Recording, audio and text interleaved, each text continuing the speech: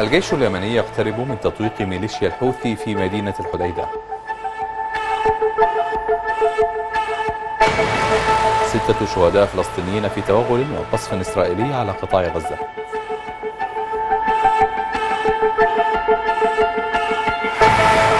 والمفوضية الأوروبية تؤكد وجود تقدم بطيء حول اتفاق نهائي مع بريطانيا بشأن بريكسيت.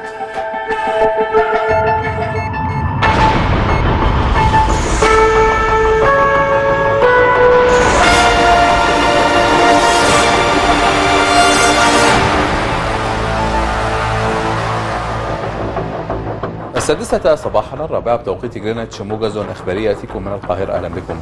اقتربت ألوية العمالقة التابعة للجيش الوطني اليمني من شارع التسعين بمدينة الحديدة خلال تقدمها الذي يتزامن مع انهيارات كبيرة في صفوف ميليشيات الحوثي.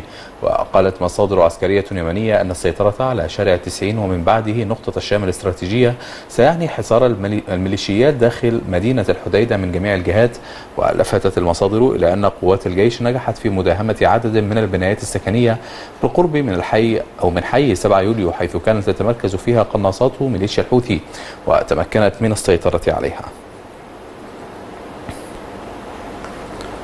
أكد الهلال الأحمر الفلسطيني استشهاد ستة فلسطينيين وإصابة عدد آخر في قصف إسرائيلي وعملية توغل برية داخل قطاع غزة فيما أعلنت وسائل إعلام إسرائيلية مقتل جندي إسرائيلي وإصابة آخرين في اشتباكات جرت داخل القطاع.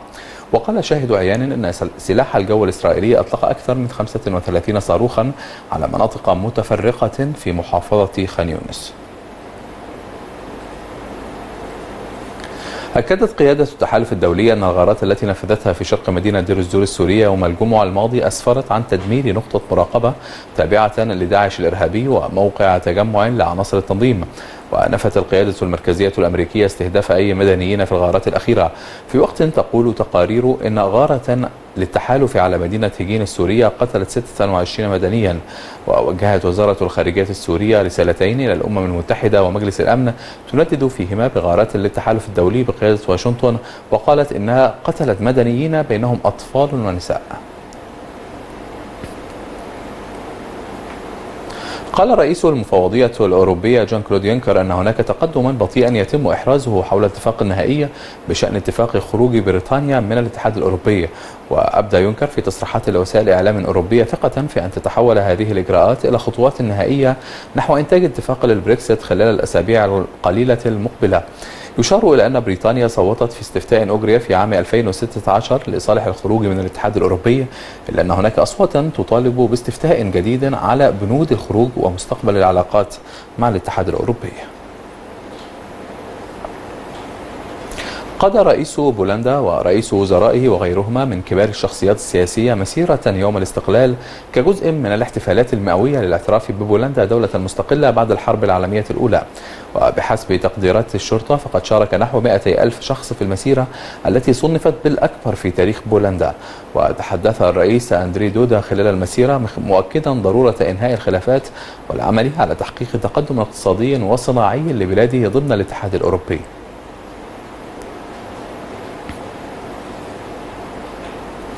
ارتفع عدد ضحايا حرائق الغابات الهائلة في كاليفورنيا إلى 29 شخصا بينما أكد مسؤولون محليون أن 228 شخصا لا يزالون في عداد المفقودين. وأضاف المسؤولون أن الحريق أتى على أكثر من 7000 منزل و6700 مبنى حكومي وتجارية مشيرين إلى صدور أوامر بإخلاء المناطق المهددة لأكثر من 52 ألف شخص في وقت تمت السيطرة على 20% من هذه الحرائق.